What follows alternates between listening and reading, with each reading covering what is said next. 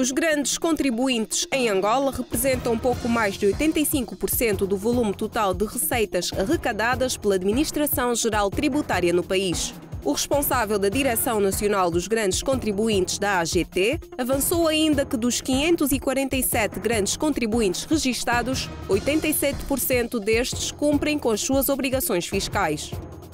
O comércio entre Angola e a China disparou em julho face ao mês anterior, com as importações que Angola faz da China a aumentarem mais de 80% para os 213 milhões de dólares, enquanto as exportações para a China subiram quase 31% para 1,62 mil milhões de dólares.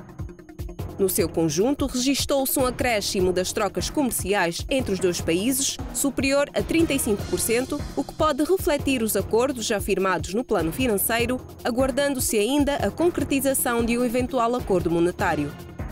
A taxa de câmbio média do Kwanza manteve-se inalterada face ao euro e ao dólar, com a moeda nacional a negociar a 165,89 para o dólar e a 185,37 para o euro.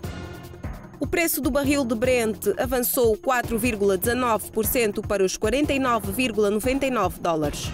As subidas são justificadas pelos dados das reservas petrolíferas nos Estados Unidos, que tiveram a maior quebra desde 1999, com as reservas a descerem 14,5 milhões de barris.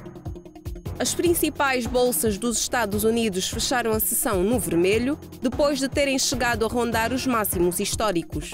Na Europa, os índices bolsistas enfraqueceram após a reunião do Banco Central Europeu.